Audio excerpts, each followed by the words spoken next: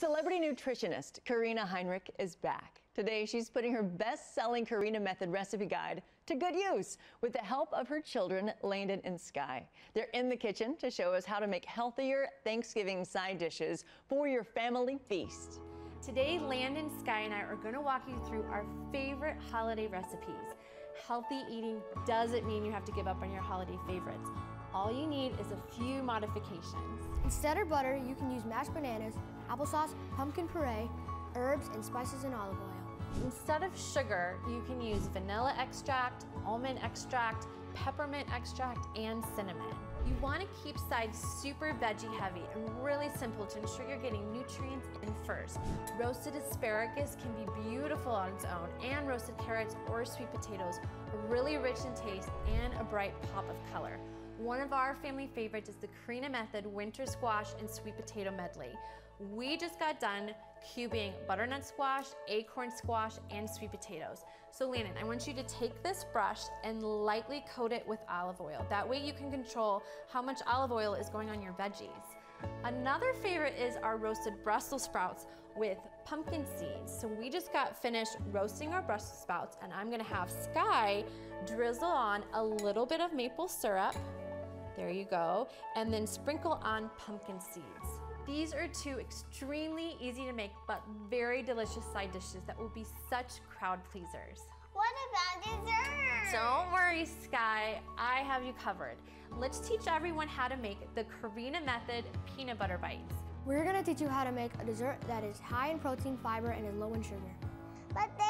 really yummy. They are so yummy and they're no bake and the peanut butter bites are amazing because you can sneak in a lot of healthy ingredients.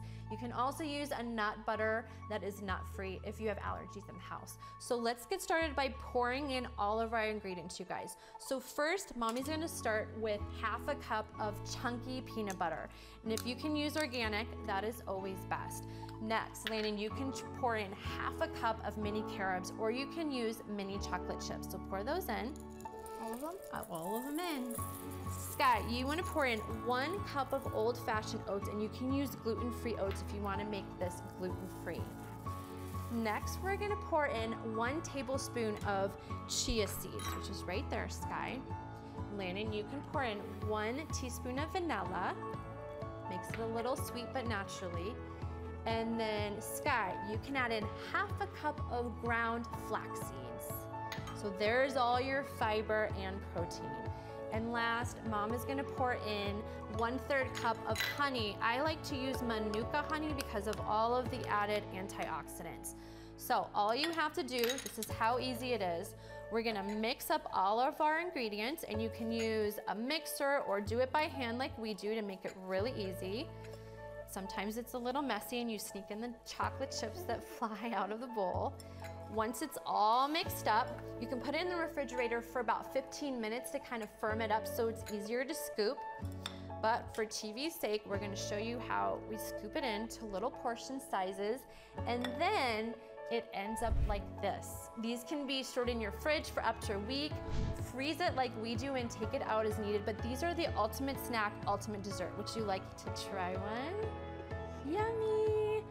We hope that you have a wonderful holiday season. Can't wait to see you soon. Happy holidays, guys! And happy holidays to you too, Heinrich family. Those peanut butter bites look delicious. You will always teach me so much during your segments. To learn more about Karina Heinrich, visit thekarinamethod.com to download the Karina Method recipes or sign up to work on your nutrition one-on-one -on -one with Karina.